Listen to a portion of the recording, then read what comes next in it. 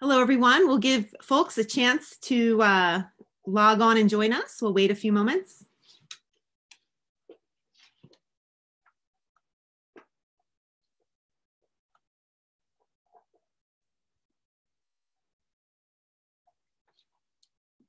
We'll still wait and give people more time to log on.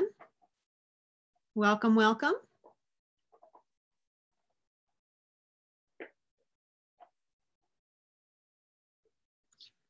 Okay, and we are going to get started. Hello, and welcome to Hawk Mountain Sanctuary's Discovery Institute series. Today's program is The Watershed and You, Understanding Your Impact on Our Water Bodies, with Sarah Crothers, Education Director of Schuylkill River Greenways National Heritage Area. Hi, everybody. And Diana Mayer, Education Coordinator of Schuylkill River Greenways National Heritage Area. Hi, thank you all for coming. Welcome, Sarah and Diana. And I'd also love to give a special shout out to Jillian Clemente, who is part of the Schuylkill River Greenways team, and also a former Hawk Mountain Sanctuary education trainee from September 2019, who kind of connected our two organizations for this webinar. So thank you, Jillian. So my name is Jamie Dawson and I am the Director of Education at Hawk Mountain Sanctuary. And thank you so much for joining us this evening. As you may know, Hawk Mountain is the world's very first refuge for birds of prey. And we continue to work hard to be leaders in raptor conservation, science, and education, locally and globally around the world.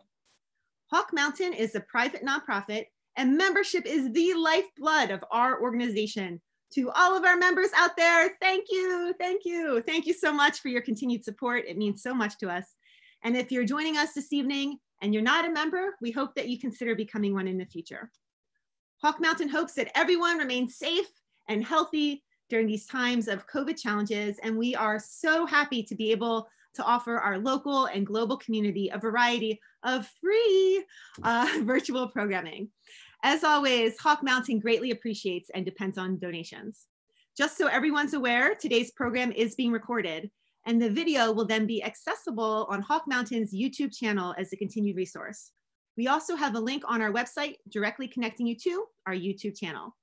At any point during today's program, viewers may submit their questions through the Q&A feature on the Zoom platform. And we've designated some time at the end of the program to take some questions from the audience. And we are so excited that Sarah and Diana are joining us today to teach us about the Schuylkill River watershed, how our actions can protect the environment, and how we all can be involved and be citizen scientists to track pollution.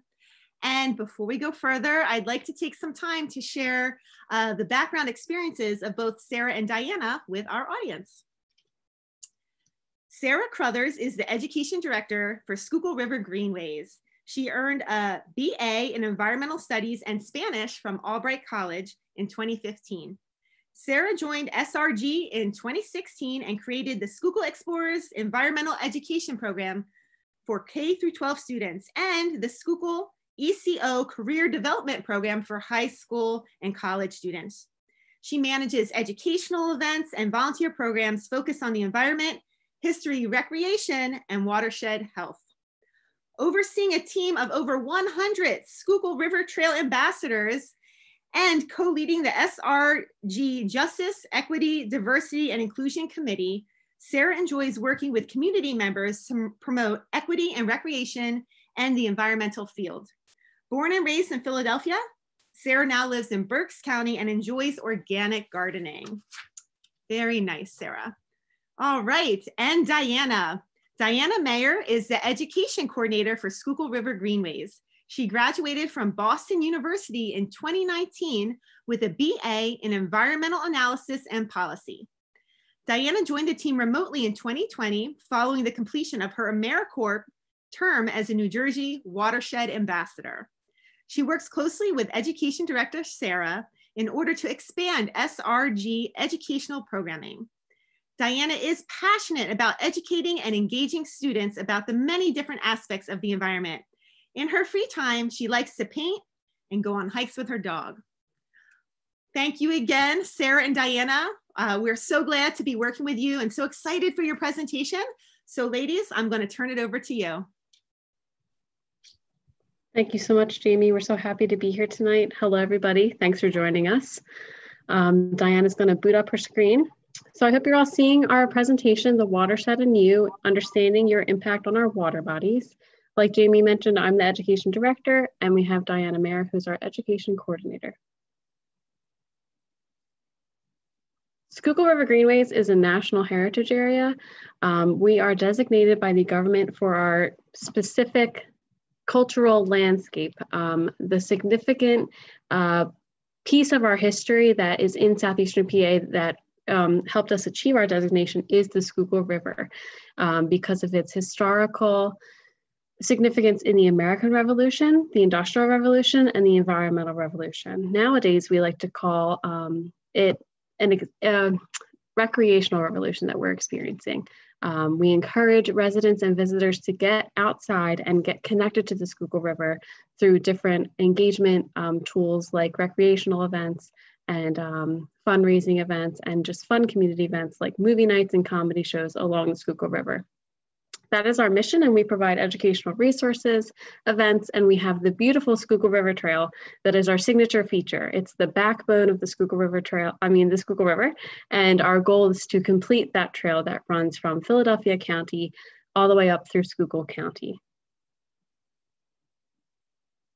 We have many programs and projects, as I mentioned, our number one project is the Schuylkill River Trail. Here you can see a picture of it on um, the right side of your screen. It runs through five counties and will be um, almost 130 miles long once fully completed. 75 miles are paved and crushed stone and they're open to the public. You can ride your bike, you can walk your dog, you can run. Uh, we have a Schuylkill River water trail that begins in Schuylkill Haven, and that's the river that we like to use for recreation. So we encourage kayakers and people who canoe to go out and visit the Schuylkill River. And we are um, working hard to improve landings along the Schuylkill to increase access for residents and visitors and the public to go and get on the Schuylkill River in your boat. Uh, one of our best or my favorite programs is the Restoration Fund. We have grants available to local organizations and local governments to implement projects that improve water quality. So we really love recreation. We really love, you know, getting people outside, but we also know it's super important to protect the water quality of the Schuylkill River itself. So you can check that out on schuylkillriver.org and um, apply for mini grants to get different projects going. Programs, we uh, have a very robust education program that Diana and I run. We have our Schuylkill Explorers Youth Education Program where we um, teach youth about watershed education. Uh, we work with students from kindergarten um, all the way up to 12th grade.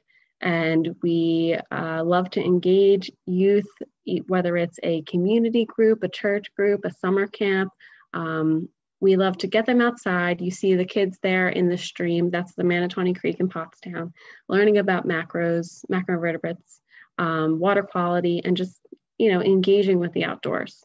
We also have our Schuylkill River um, Environmental Career Opportunities, which is a career development program uh, aimed at high school students in Philadelphia mainly, but this last winter, we went virtual and engaged students that were in high school and in college throughout the entire watershed and even um, in Delaware. We are having our 23rd annual Schuylkill River Sojourn, which is running this year in July. Usually it's the first week of June. This year it's a little bit different. We're starting on July 31st and running through August 4th. It'll begin at Jim Dietrich Park and end in Philadelphia. So it'll begin in Berks County and go through um, down the river all the way to Philly. Registration opens in May. We encourage you to join us if you'd like. You can sign up for one day or the whole week.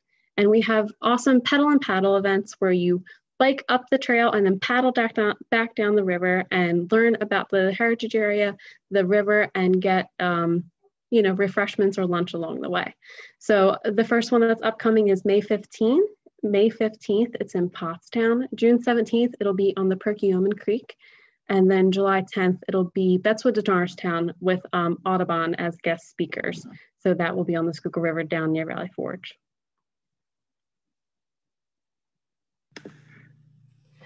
So um, tonight's session is called uh, Watershed in Use. So we're going to talk a little bit about what watersheds are, um, where they are, and how we impact watersheds and our water bodies. So a watershed is uh, an area of land that drains into a common body of water. So what does that exactly mean? It means that precipitation flows, once it hits the ground, it flows from the highest point to the lowest point, which is usually um, a body of water. Some of that precipitation seeps into the ground and, and infiltrates the soil and uh, becomes groundwater. Uh, but most of it runs off the surface of the land and will eventually end up in a river, a stream, a lake, um, any water body. Um, so everything that we do on land affects the water that runs off because once it runs off, it can carry different things like pollution. And we're gonna talk a little bit about how that happens.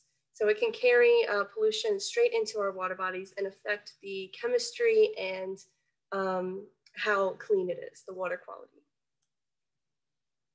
So um, if you live in this area shown on the map right here, then you live in the Schuylkill watershed, the Schuylkill River watershed. Uh, the Schuylkill River watershed spans 11 counties. It spans 2,000 square miles um, and that makes it the biggest tributary to the Delaware River. Um, it also provides uh, drinking water to 2 million people. So we get our drinking water, the water that comes out of our faucets, um, that all comes from our surface waters. So that comes from the Schuylkill River itself. Um, and then it flows into the Delaware River, making it um, the most populated and largest tributary uh, to flow into the major river of the Delaware River.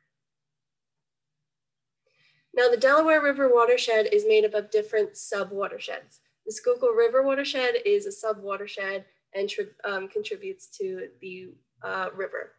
So the Delaware River watershed um, serves 13.3 million people. So it provides uh, 13.3 million people with that drinking water. Uh, it spans four states and 388 square miles. That should say square miles. Uh, no, wait, 388,000 square miles.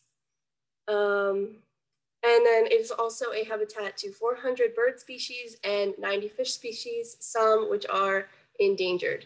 Um, it's very important for uh, local economies, uh, for uh, recreation, for water quality, for ecosystems, and for um, essential wildlife and habitat.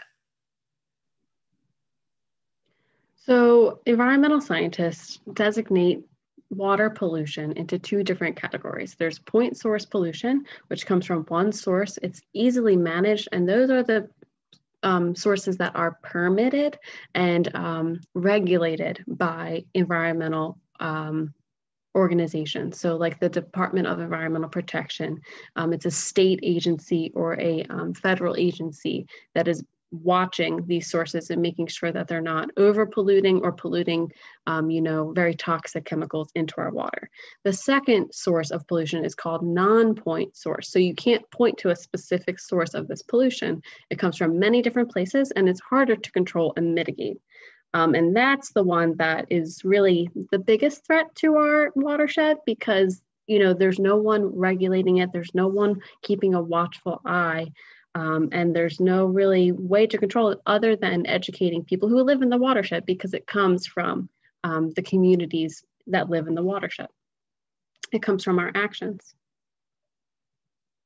So some of our non-point source pollutants are litter. I'm sure you've all seen litter walking outside. Um, I know none of you litter. So when you see it, it is important it's cleaned up because that does end up in our drinking water waterways. Sediment and fertilizer, um, many people have said, you know, well, soil is natural. How can that be an issue? It's when there's too much, right? When water and soil mix, it becomes mud, and we don't want to drink mud. We don't want to have muddy waterways. Fish can't live in mud, um, and plants can't thrive in mud. And fertilizer is a major, major issue from um, farms or when you fertilize your lawn. So, you know, it's important to use natural fertilizers, to use minimum amounts of fertilizer. And the number one rule is to not apply it before a big rain because then it's ultimately getting washed away immediately into our watershed.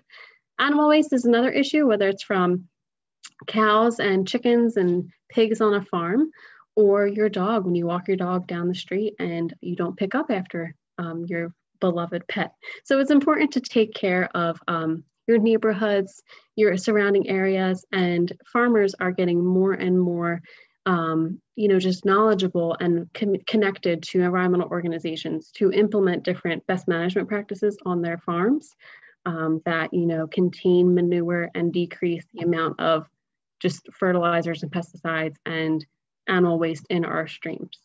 Pesticides and herbicides are another major issue.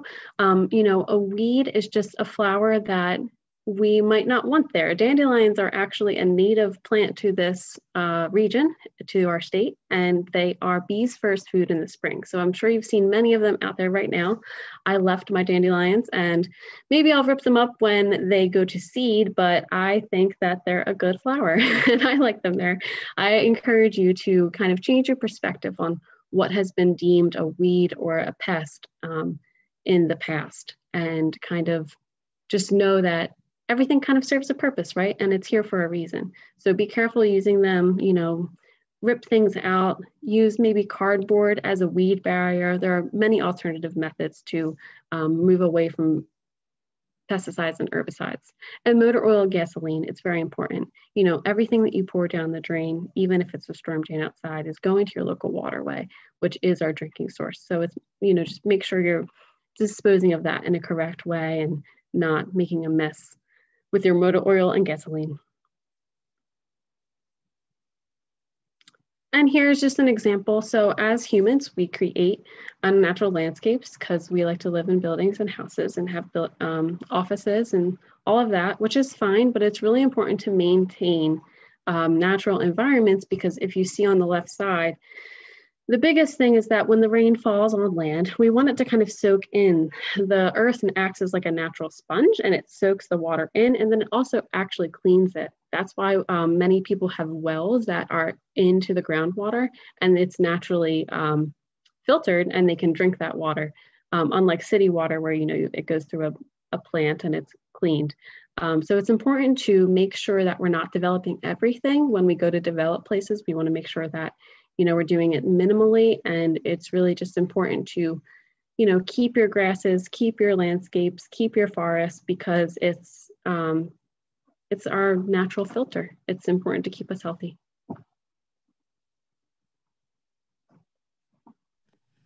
So storm drains are um, what they call a gray infrastructure.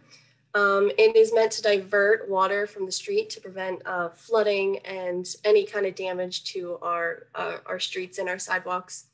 Um, but it can actually be harmful in its um, effects.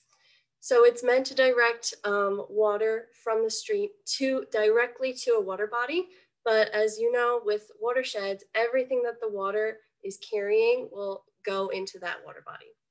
So you can see here on your right, this picture, um, this is what they call a separated system. So right here, you can see the catch basin. It is absorbing water that is coming from the street, coming from um, the park or the natural lands, and it will eventually go through the storm drain into the waterway directly. And you may have seen um, a storm drain looking like this. So all of everything that's on top of that grate, that water bottle, um, any oil that's mixed in, pesticides that are mixed in, that's all going straight into our water body without any kind of treatment. Um, for the separated one as well, there is a different uh, sanitary sewer, and that's our household wastewater that goes directly into the sewer to a wastewater treatment plant, and then it will be um, separated to the waterway. Um, in old cities, you may there may be um, a combined sewer outfall. And what that means is they uh, said, hey, let's put all of the storm water and all of the wastewater into one pipe and direct it straight to a treatment plant to treat it. You may think that's a good idea, but of course, with lots of rain and hurricanes, they um, built a, an outspout right here. So in the dry conditions, all of that waste will go directly to a treatment plant, which is great and it'll all be treated. But once that heavy rain comes down, it overflows and they had to build some kind of capacity to deal with that. So they built an outfall straight into the water body So all of that human waste and all of that uh, roadside pollution will go straight into the waterway. There are some cities that still have um, infrastructure like this, and that just means that there needs to be a major overhaul of the infrastructure um, to deal with that kind of pollution. So instead of gray infrastructure and the combined sewer outfalls, it's best to use uh, natural uh, green infrastructure. So plant more trees, uh, plant buffers around streams to prevent any kind of pollution and have that natural land to act as a filter and clean our water naturally. So um, we wanted to uh, wanted you all to participate. Um, so I have this picture. This is from the EPA's website. And it's just showing a neighborhood of people going about their day. And um, there's a few things wrong with it, a few things that might hurt our water bodies. So in the chat, I want you to type up anything that you see that might be wrong with this picture and maybe some ways that we could change it.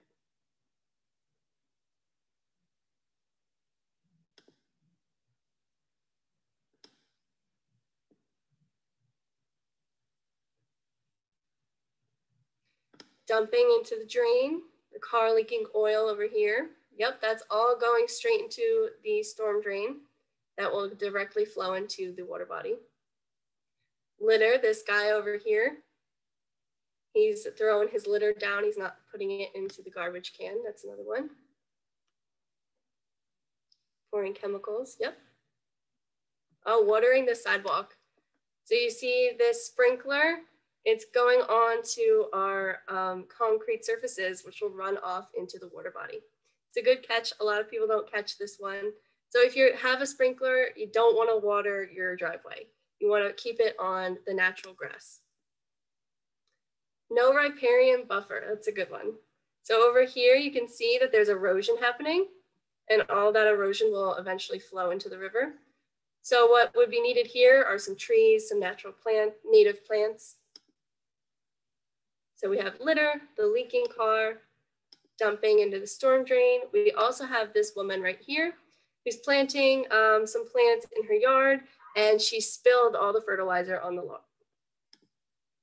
And we have the sprinkler and then the bagging of leaves. These leaves could be used um, for a natural compost or they could be used um, for uh, a natural fertilizer for gardening, anything like that, instead of just bagging it and throwing it to the dumpster and no riparian buffer. So good job. So why should we care about our land and our water so much? Well, of course, rivers are the source of our drinking water. Uh, they provide millions, billions of people with uh, drinking water. Um, and also clean river, clean streams, clean lake. It boosts our local economy. It increases our real estate value. It um, decreases treatment cost of, and instead of making a huge billion, trillion dollar uh, treatment plant, we could use real trees and nature to um, infiltrate that water and clean out those pollutants. Um, it can increase recreational revenue. Of course, everybody wants to go uh, kayak and go fishing on the clean lakes. You definitely don't want to go in a polluted lake. Uh, the water quality is also a, ref a reflection of our actions on land. So we should be proud of where we live and we should be proud of um, the natural landscapes that we have. So we all kind of need a, to have a responsibility to take care of our community. And watershed health is vital for ecosystem health. It supports many different species, many different endangered species, and, um, and it, it, it supports plants, animals, and us. So here we have a back-to-back -back, uh, picture of an unhealthy stream. You can see there's a lot of uh, gray infrastructure, those roads, impervious surfaces. We also have um, livestock right along the river. Um, and with livestock uh, comes a lot of waste. Um, and then we also have all of this nitrogen and phosphorus, those nutrients that will end up polluting and deoxinate and taking out the oxygen from our river to, um, and that would eventually kill off all of the vital um, vital species that live in a river. And over here we have our healthy streams. So we don't need to keep our uh, environment exactly how we how we found it, where it's exactly with, with the trees and all the natural land.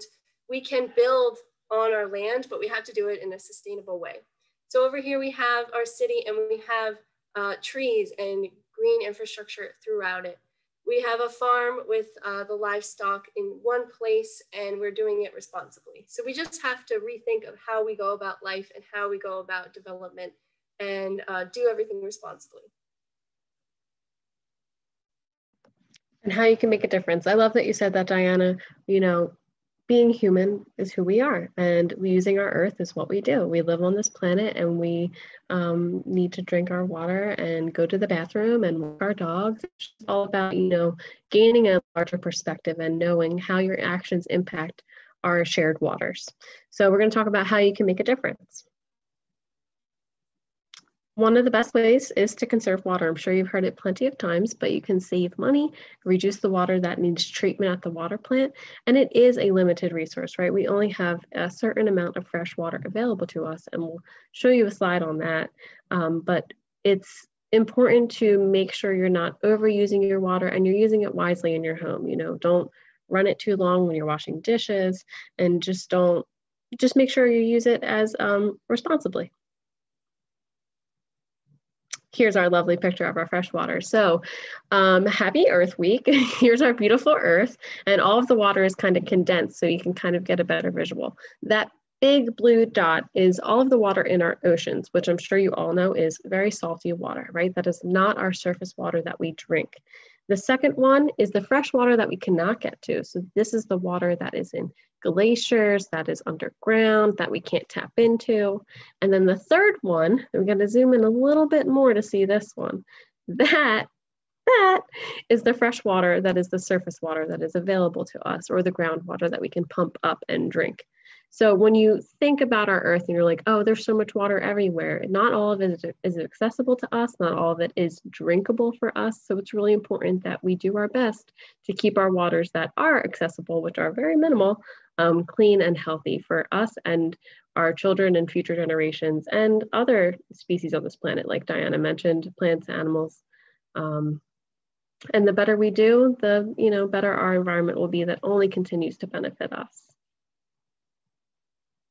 disposing of trash properly is probably one of the number one things, right? We don't want trash in our streams, and trash does break down into different particles, um, different chemicals leach. So it's not just the actual trash itself; it's what it's um, you know leaching into our water supply. So it's important to track what you can recycle, and I encourage you if you don't have recycling in your um, town or at your apartment building to kind of seek that out. I know that in my local borough, um, we have trash or recycling um, dumpsters that we can bring our recycling to if we don't have pickup at our house, which is really great. Uh, no wish cycling. So that's when you really wish you could recycle something. You know, you take your um, flimsy plastic off of your pack of toilet paper and you really wish you could recycle that plastic, but it isn't recyclable. It does more harm than good when you throw things that are not recyclable into the recycling bin. Um, make sure you clean them out right when you're done with that jar of peanut butter. I know it's like sticky and annoying, but if you just fill it up with water and let it sit a little bit, the water will break it down and then you can clean it out and throw it right in the recycling bin. Removing caps on bottles can help so the air doesn't get trapped. Um, and no flimsy plastic like I mentioned before. So, you know, you can look up your local trash pickup, your recycling pickup. Um, there are many recycling guides online. Here's one right here um, and just make sure that what you're recycling is recyclable. You're doing better by recycling what you can than trying to recycle everything you wish you could. I guarantee it. So the best way to reduce um, plastic in our environment and harmful chemicals in our environment is to stop using them. Um, so you can use different alternatives to plastic instead of uh, reusable plastic water bottle, you can get a reusable metal one. Um, these ones will last a lifetime. Uh, instead of a toothbrush, a plastic toothbrush, you can get a bamboo one. I get my bamboo toothbrushes at like a, a local Marshalls or a TJ Maxx. They have uh, a few packs of them every time I go. So it's a really easy fix. It's the same thing as a plastic one. Also, um, another uh, plastic substitution is a bamboo scrubber for your dishes with bars of soap. So instead of buying a plastic jug of dish soap, you should get a bar of soap or um, a bar of dish soap. Also, there are things called microplastics. That is a really big issue uh, nowadays because they're just impossible to clean up and they come from a lot of different places. Microplastics are classified as plastics um, that are less than five millimeters big. That's for perspective, that's about the size of um, a pencil eraser or smaller. They can be very, very small, like the size of glitter. Glitter is a, a microplastic as well. Um, but the biggest source of microplastics are from synthetic fibers. So those things like yoga pants and those waterproof t-shirts that you might have, those are made from recycled plastic. And when you put them in the washer, the fibers will break down and it will flow directly into the pipes, will flow directly to the uh, wastewater treatment plant. And they do have filters there, but they don't have filters that are uh, small enough to catch those really tiny microplastics, and then they will just flow straight into our water bodies, into the ocean. Um, so instead of using synthetic fibers, maybe um, buy more cotton fabrics, more organic fiber fabrics. Uh, you can always check what the product you're buying is made of. And you can also um, use a laundry bag to catch, if you have to use any synthetic fibers, they can catch all those that shed off so they don't go into our pipes, which is the best, um, the best way to prevent microplastics any further. Also, um, microplastics come from uh, big plastic waste that shreds off into uh, plastic chunks. So um, plastic that's flowing in the ocean will eventually degrade and degrade into smaller pieces. Also beauty products that have um, microbeads those are just small plastics that will wash directly into the drain once you're done using it. Um, so try to stay away from anything that says microbeads on it or like scrubbing fibers. So just um, research what you should buy instead of plastic, research what is uh, the best uh, thing to buy. And it's also really good to invest in what you're buying in. So instead of just going to Old Navy and buying three shirts that are that uh, will wear and tear within a year, it might be better to invest in the more expensive shirt that will last a lot longer. And for more information, you can look at this website. It's myplasticfreelife.com slash plastic free guide, which will give you a bunch more uh, different substitutes that you can implement in your own life.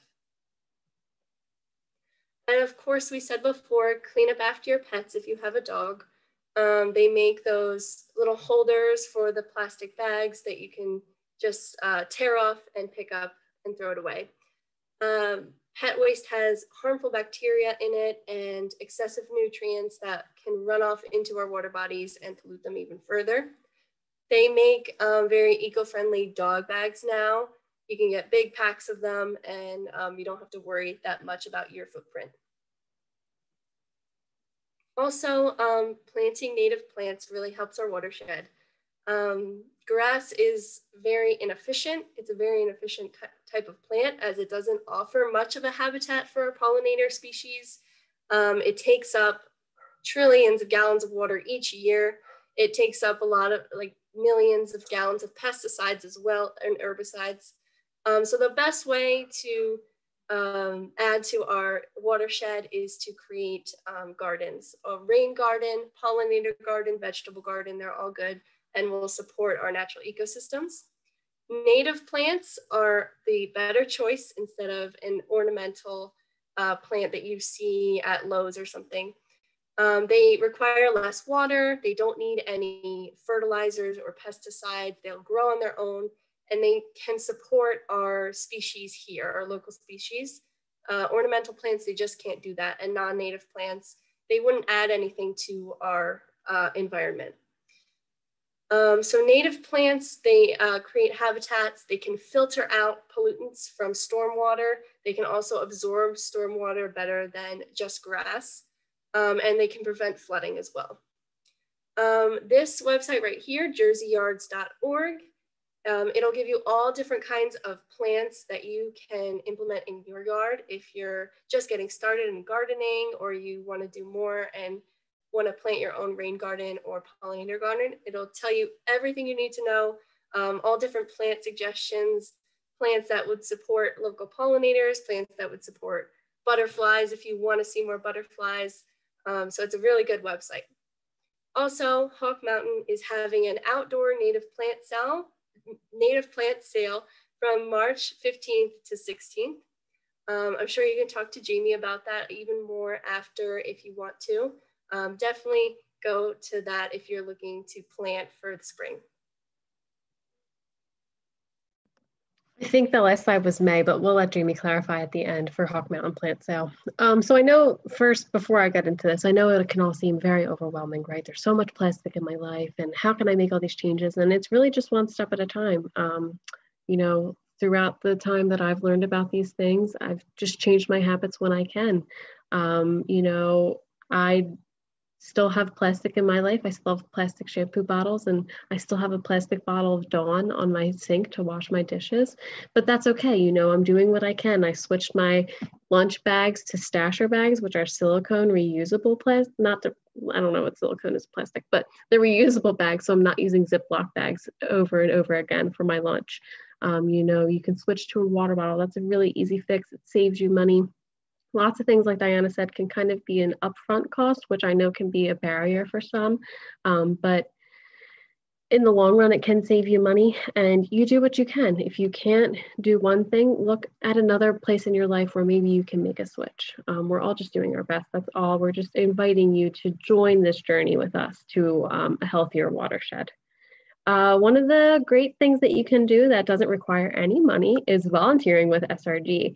So we are a nonprofit organization. And as Jamie mentioned before, just like Hawk Mountain has members who fuel their work, we have members that fuel our work. We love our members and we encourage you to become a member if you're not already of Schuylkill River Greenways. You can learn more at schuylkillriver.org um, that has all of our great resources there. So we have volunteer opportunities for trail maintenance. As I said before, the Schuylkill River Trail is a large trail. Um, we can't do it, we can't maintain it without the help of you all who use it and love it just as much as we do. Um, we have our trail ambassadors who are avid trail users who are out there all the time and they connect with us and they help improve trail user experience. They help spread word about the trail. They help clean it up and just let us know, you know, if things are wrong, if they need fixing, if a tree is down. So um, if you're interested, if you use the trail a lot, I encourage you to become a trail ambassador. Um, feel free to email me, look online. I run that program and I'll be happy to set you up with your trail ambassador gear to get you going. All of our volunteer hours are also submitted to the federal and state governments that help us secure our funding annually. So um, your volunteer hours do really go very far, not just benefiting us immediately with our projects and programs, but also securing funding for our organization um, year after year. We have special event volunteers with the Sojourn coming up, um, our lovely ride for the river in the fall, which is our bike ride on the Schuylkill River Trail. We always need event volunteers. If you would like to come and check people in or sort t-shirts or help give out snacks, there's always an opportunity for you. If you're not into, you know, trimming bushes and picking up trash, there is an opportunity for you, I promise. We have civic group volunteers and adopt adopt a trail program. So maybe if you're a 4-H group or maybe like a Girl Scout troop or a um, community group, we encourage you to reach out to us and connect if you're interested in like adopting a part of a trail or doing a team cleanup. You can learn all of, all of this and more at schuylkillriver.org slash volunteer. We have a very robust website and I encourage you to go check it out. Our community science opportunity that I want to pitch to you tonight that directly um, relates to water quality is our trash assessments. It couldn't be easier to do some community science while you're out on the Schuylkill River Trail or along the Schuylkill River. So um, step one is to go around the Schuylkill River. It doesn't have to be any particular spot. The river is, you know, expansive through many different counties. So wherever you live, if you go, if you fish, if you take walks, if you just like to go and look at the sunset or take pictures, um, if you're out there, I really encourage you to check, um, to go to this link to check it out and just do a quick log of what you see. So if you go to your smartphone, open the internet and go to bit.ly slash litter form, you can use your location that's already on the map. It kind of geotags it automatically, and we ask your permission to geotag it. You can upload a photo of your area, and you can rate this 100 foot section. So kind of just like what you can see to the left and to the right of you. And it asks you questions of, you know, what level of trash are you seeing? You see here we have this nice little visual. You know, is it like one piece of trash or is it like 50? So we have it ranging from optimal, which we would love to see, right? We would love to see like zero trash or maybe one piece to poor, which is tons of trash, right? And you're helping us um, pinpoint hotspots along the river. You're helping us understand the river more that we can't always see. Um, you're telling us about different illegal dumping that might be happen, happening or littering or oily sheens that you're seeing. So um, we encourage you to get out there. It's a great way to get involved and we are um, really hoping to engage the public more on this and get you more um, interested in your water quality.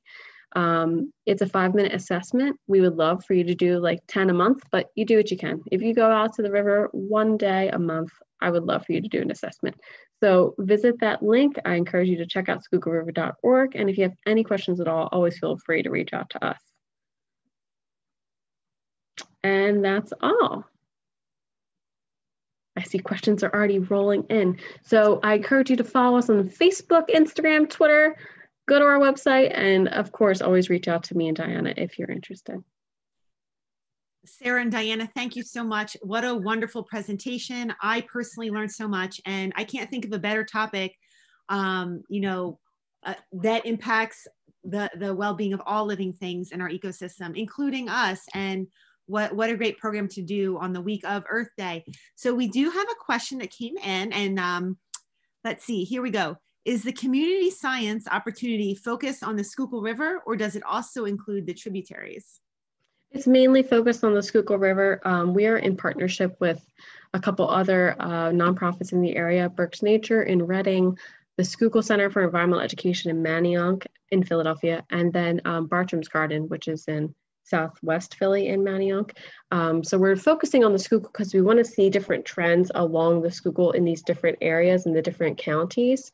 Um, so it's really focused on the Schuylkill. But if you see something on a tributary, you could always um, reach out to us or take a picture and send it to us and we can kind of make note of it. But that data collection is really the Schuylkill River. That's a good question. Wonderful, thank you. Well, I don't see any other questions right now. Um, here's a comment. Just uh, accolades to uh, Sarah and Diana. Thank you, great presentation. A lot of helpful, important information. Thank you, thank you. So good job, ladies. Um, and I see there is a raised hand and we just kind of ask you, you can either type in your question in the chat or in the Q&A. Don't be shy with questions.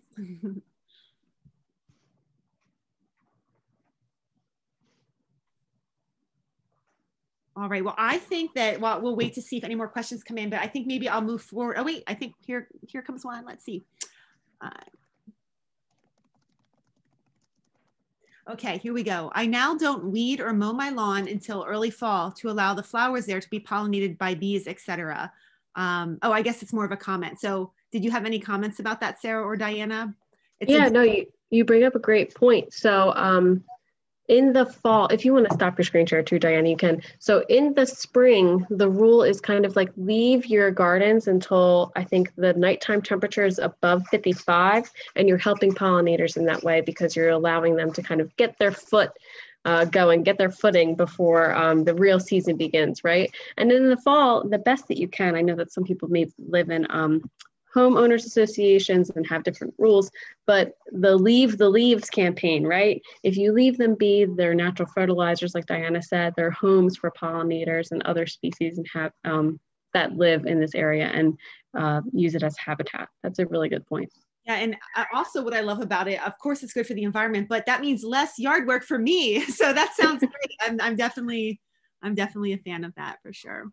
Um, yeah, and as was mentioned in the presentation, Hawk Mountain, we have so many wonderful volunteers at Hawk Mountain, as I'm sure SRG does as well. And we have some very dedicated uh, native uh, plant, native garden, native habitat volunteers, and they organize and grow all the plants that we sell at our native plant sale. We have it every spring and every fall. It's always the middle weekend in May and the middle weekend in September. So I believe that's May 15th and May 16th this year. And it's all, all outdoors all day.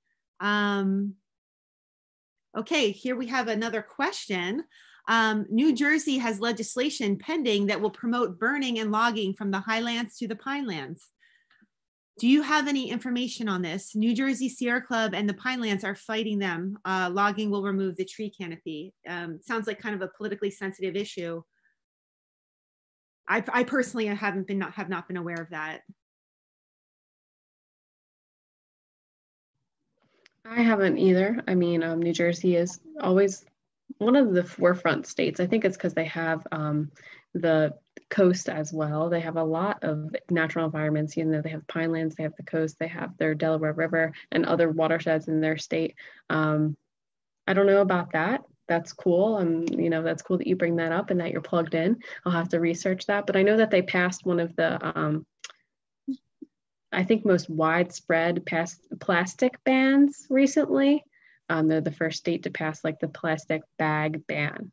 And that happened um, because every municipality kind of signed on slowly. So that was like from the, the, ground up, every municipality or township kind of made ordinances. So when you see things like that, um, I think it's important to remember that it's it's a slow and steady pace, and usually a lot of backing is behind it. It's you know, big changes like that happen from the ground up. Yeah, the ban the bag. There you go. It'll take effect in the year. That's awesome. Well, yeah, thank you um, for that comment, Joanne. Thanks for spreading awareness. Um, I think that I, I don't see any more comments coming in. I think I will take this opportunity again to thank our wonderful presenters, um, Sarah and Diana. I learned so much. I love the Schuylkill River Trail and the Schuylkill River. Yay! so thank you so much. Um, thank you to our audience for joining us today. Um, we really enjoyed sharing this time with you virtually. Thank you for caring about the environment and our watershed. Um, and I'd like to just um, share some upcoming programs that we have um, at Hawk Mountain if you're interested. So as you may know, it's spring migration. So every weekend throughout April and uh, May, we have lots of programs, many of them free, including live raptor programs. So come check it out. Um, we have, um, is this tomorrow already, April 21st, we have a Bagels and Birds event at 9 a.m. And also tomorrow we have homeschool happenings, Herps Awaken. That's at 10 a.m. And um, Earth Day, Thursday, we have a lot going on. We have a Signs of Spring walk um, in the morning, 8 a.m. Uh, on Thursday. Um, we also have that walk again on the 29th um, at 8 a.m. So going back to Earth Day, the 22nd, we have our, our virtual sanctuary story time, Forest Bright, Forest Night. That's at 11 a.m. We have an Earth Day celebration at 2 p.m. on site that involves meeting a feathered educator, a guided hike to North Lookout, and learning things that you can personally do, um, you know, to protect the planet. Um, we have yoga on the mountain this Saturday morning at 9 a.m. And um, then on April 29th, we have another Discovery Institute program, which is a rain barrel virtual workshop, and that's at 7 o'clock p.m. So thank you again, everyone, for sharing time with us um, and have a wonderful evening. We hope to see you soon. Take care. Bye for now.